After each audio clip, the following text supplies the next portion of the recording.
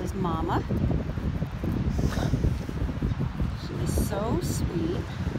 She's nice on the leash. She barking up a storm in her kennel, because she had to go out and go potty. She's got the little parrot mouth, which we just love.